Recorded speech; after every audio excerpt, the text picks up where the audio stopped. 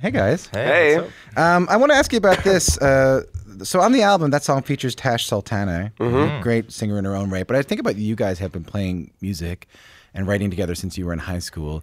Does bringing someone else in mess things up a little bit or, or change things a little bit? Puts in some spice.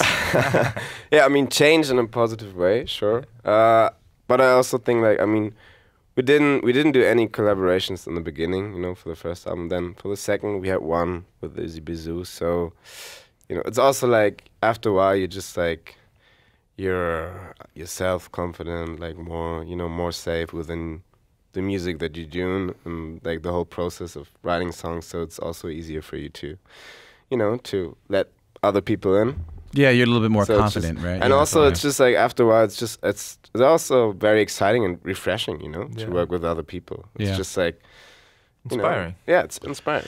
And can we can we talk about this? So you guys were in Mexico City yesterday, hmm Yeah, I mean, yeah, we flew in here, and then yesterday, yeah, you flew in here yesterday from, and then you were you were in where you live in, in, in Germany before that, and so you guys. I mentioned this a bit in the in, in the introduction, but you guys are starting to talk about these things that I'm seeing a lot of musicians talk about, um, which is the impact that simply being a touring band can have on the environment. Mm. When when did you start having these sort of conversations?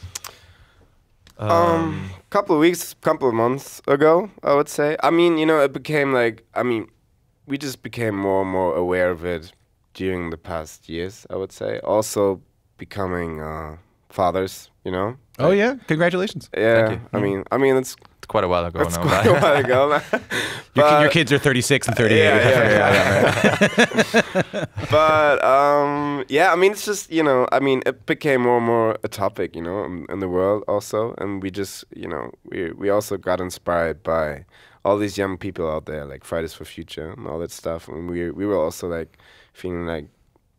I mean, like we want to do something as well, you know. We know that as a worldwide touring band, our footprint is quite really, really bad yeah, yeah. and it's also really hard to you know to do something about it but we just you know we just wanted to start the process and um And what does that look like? I heard you guys hired like a a, is a, a sustainability manager.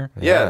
yeah we have a new a new member in our in our team and um she's only you know doing that kind of stuff we have a we started a blog called milky change Milky Uh, Change. milky change Ah, pretty good. milkychange.com Yeah. and because we we also want to you know we want to document it and we want to be transparent you know and it's not like it's not like that we want to say you know we're a green band now like we do like you know like organic cotton t-shirt merch stuff like that you Mhm. know we we want to say like we want to get more sustainable but we are not right now you know the status quo is like this and we want to um yeah we want to be honest So, and yeah so what it's is what does the about the sustainability manager do? Well, she basically with us like gives us the status quo to like first of all face us the facts, Yeah.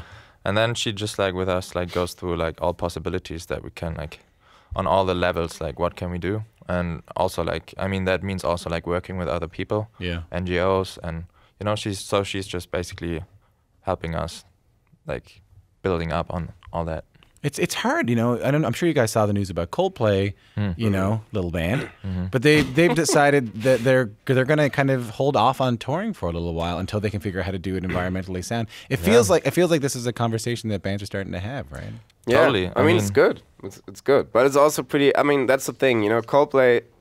I mean, they can also like they're huge, so they also can say like, They're at a okay, different point we're, of their we're not career. going on tour for a while. You Yeah. know, it's not. It doesn't hurt them.